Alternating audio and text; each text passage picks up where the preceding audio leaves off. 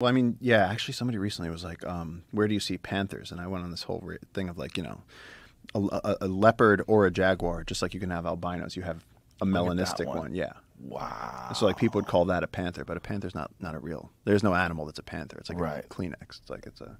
It's just another name for it.